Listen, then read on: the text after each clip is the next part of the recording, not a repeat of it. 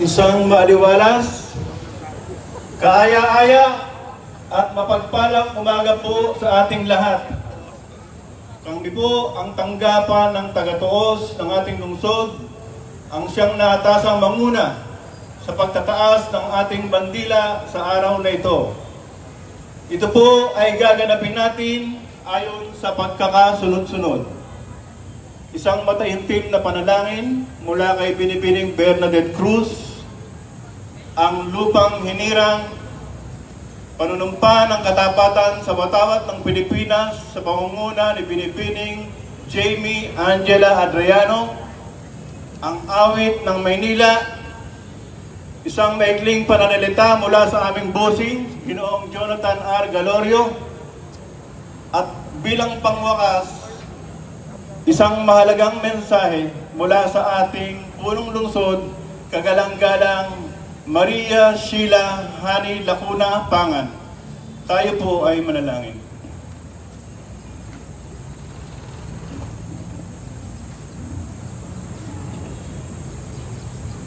Good morning, everyone. This is the word of the Lord from the book of Joel, chapter 2, verses 12 and 13. Yet, even now, declares the Lord, return to me with all your heart, with fasting, with weeping, with mourning, and rend your hearts and not your garments. Return to the Lord your God, for he is gracious and merciful, slow to anger, and abounding in steadfast love, and he relents over disaster. Let us pray. O Heavenly Father, we honor, we praise, and glorify you in our midst this morning. We thank you that you reminded us that you are merciful God. That's why we are now standing at the throne of your grace. We thank you for the forgiveness of our sins that are made available because of what Jesus did on the cross. We thank you for the gift of eternal life as we receive and welcome you this very moment in our hearts and in our lives. Thank you, for you are great and mighty God that loves us unconditionally. We choose to declare healing for those who are sick, strength for those who are weary, provision for the needy, wisdom for the confused, and light for some of us who is in darkness. Thank you, Lord, for with you all things are possible. Bless our land, bless our city, our leaders, and all of us here today.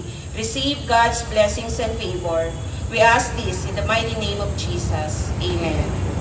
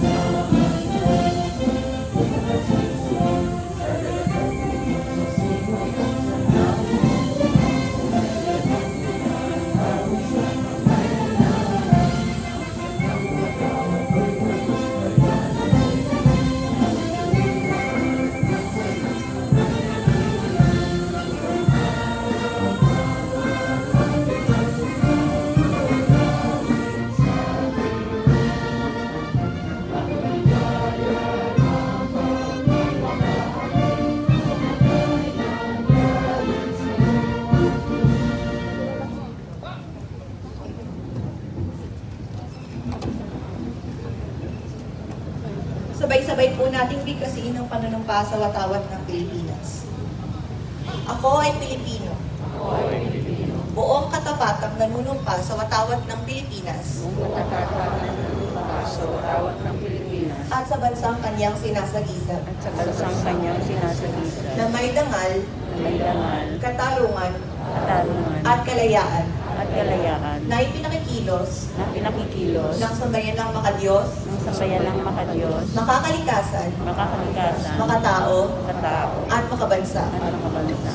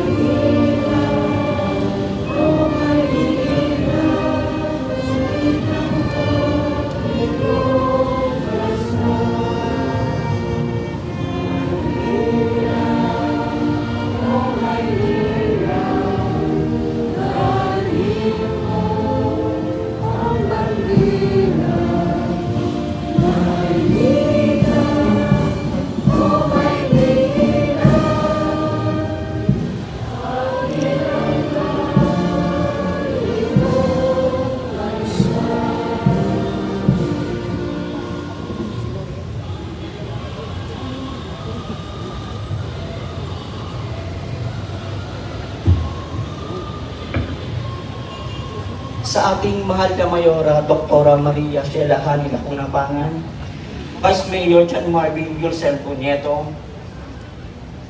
Secretary to the Mayor, Attorney Marlon M. Lacson, City Administrator Bernardito Siang, Chief of Staff Josue Santiago, kapwa ko mga department heads, mga kawani, lingkod bayan, at mga bisita.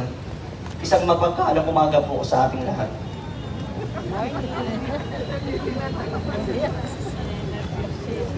Ang opisina po ng City Accountant ay ang pangunahing tanggapan ng, na namamahala ng accounting at financial na transaksyon ng ating lungsod.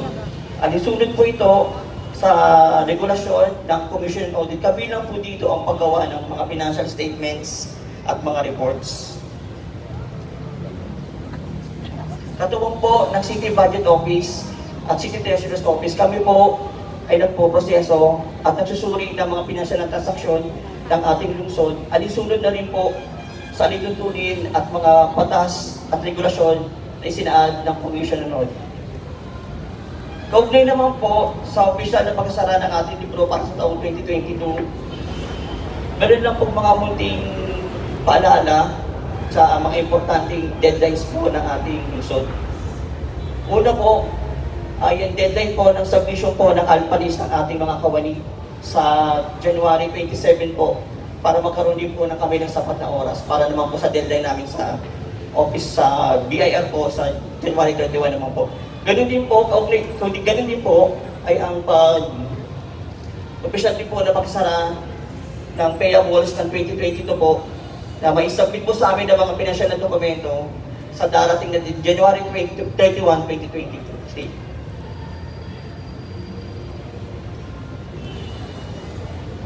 Nais ko din po magpasalamat sa ating mahal na Mayora para po sa tulong at support ang binigay niya sa aming opisina pati na rin po sa computerization program ng aming lungsod.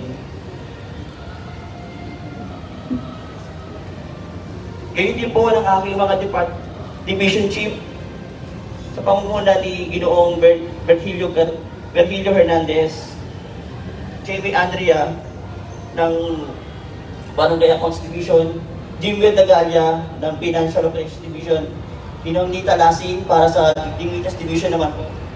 Ganun din po sa Internal Audit Division sa pangungunan Binatis Villanueva.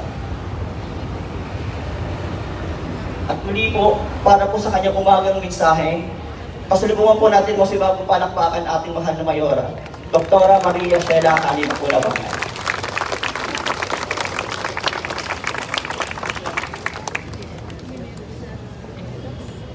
Maraming maraming salamat Ginoong Jonathan Galorio, nagbibinata.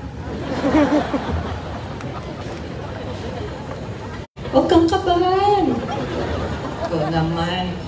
Sa bagay nung ako po ay unang nagsalita dito, nakakakaba talaga pag marami pong ah, taong nakikinig sa inyo. Di ba? Sa mga nakakakilala po sa akin, ang akin pong araw ay sinisimulan ko sa isang dasal. At yun po ay sinishare ko sa lahat ng mga grupo sa aking Viber group. Gaya po ng ating ginagawa tuwing lunes na sinisimulan po natin ang ating lingguhang pagtataas ng watawat sa isang dasal. Marami po tayong dapat pasalamatan. Kaya na nga po ng binanggit ng namuno sa ating pagdarasal sa umagang ito. Pasasalamat sa kalusugan, sa pamilya, sa kaibigan, sa ating mga personal na pang-araw-araw na pangangailangan sa hanap buhay. Ako po ay nagpapasalamat sa lahat ng mga kawani dahil sa araw-araw ng inyong ginagawang tungkulin kahit papano po ay gumaganda at gumaganda ang ating lungsod. Maraming maraming salamat po sa inyong lahat. Special mention po na pasasalamat sa bumubuo ng mga departamento ng City Treasurer's Office, Business Permits, EDP, licensing, CPDO, MHD, meron pa ba ako nakalimutan? Hindi man kasama engineering sa... Dahil ilang linggo na rin po silang tumutulong sa ating mga taxpayers. Di ho ba na tumutungo sa ating City Hall at sa ating mga satellite offices upang magbayad ng kanilang buwis. Maraming maraming salamat po. Maraming salamat din po sa ating mga taxpayers dahil ang buhay ng isang pamahalaan ay nakasalalay po sa inyo. Gaya po ng sinabi ko noong isang linggo, maganda po ang pasok ng pondo sa ating lungsod ngayong taon. Sana po ay magtuloy-tuloy ito. Kasabay nito ay ang aking pag-aanunsyo ng extension ng pagbabayad ng business permits, renewal, at new permits.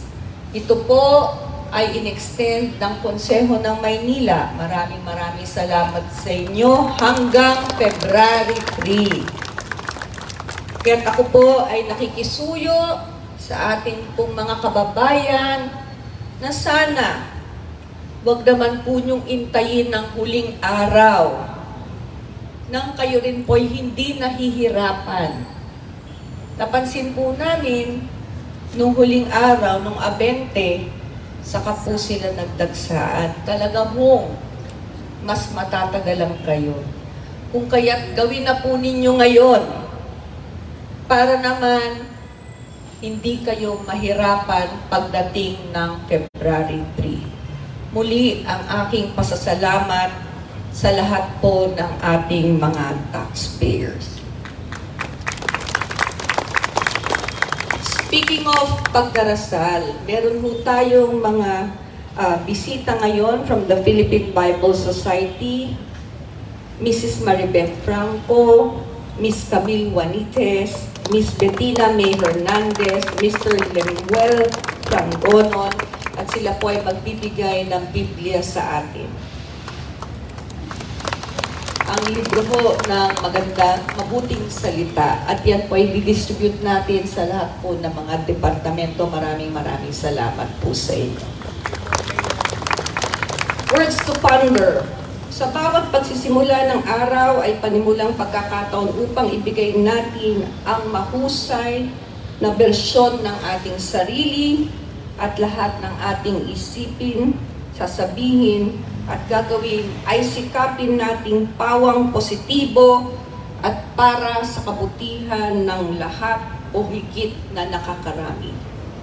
Panibagong linggo, panibagong pagkakataon, upang tayo ay makapagbigay ng tapat at tamang paglilingkod para sa ating mga kababayan.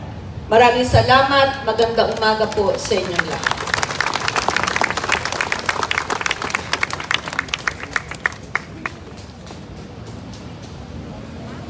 Wait lang muna. Huwag muna.